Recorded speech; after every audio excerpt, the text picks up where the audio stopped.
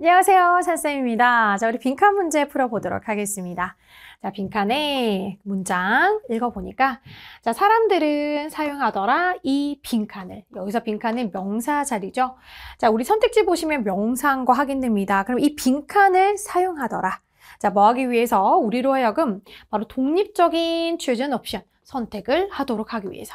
자, 그리고 그 선택은 그들의 목적에 맞는 선택이라고 합니다.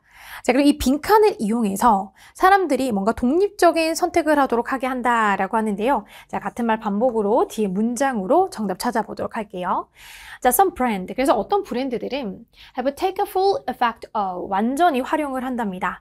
자, 우리의 defiance라고 하는 반항을요. 자, 뭐에 관한 the mainstream, 그러니까 주류에 관한 반항적인 심리를 이용해 가지고 자, 완전히 어떤 브랜드들은 그 어, 걸 활용을 한다라고 해요. 자, 그리고 그 스스로를 as a level 나는 반항자야 라고 이제 위치를 하면서 자, 이렇게 활용을 하기도 하고요. 자, 그리고 그것이 which has created 뭘 만들어내냐면 심지어 오히려 더 강한 브랜드의 로열티는 충성심이죠. 충성심을 만들어내더라. 자, 그럼 여기 앞에서 사람들이 뭘 사용하고 있나요? 자, 뒤에 말로 같은 말로 어떤 브랜드들도 have taken full effect of 충분히 지금 활용하고 있는 게 무엇인가요? 그렇죠. 바로 어떤 그 주류에 관한 그 반항 심리를 이용해 가지고 자, 그 스스로를 우리는 반항자로써요 라고 위치를 시키면서 우리는 더 강한 우리 브랜드에 대한 loyalty, 충성심을 이끌어내더라 라고 해서 약간의 반항이라는 단어가 조금 연결된 단어 찾아보시는 거죠.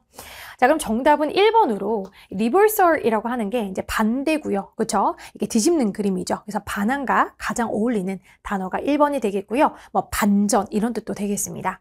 자, 이번에 이미테이션은 따라하는 거고 모방이라서 오히려 반항이랑 반대고요. 자, 반복 그리고 3번에 수능하는 것도 반항과는 반대지요. 4번에 협력도 반항하는 그림과는 반대입니다.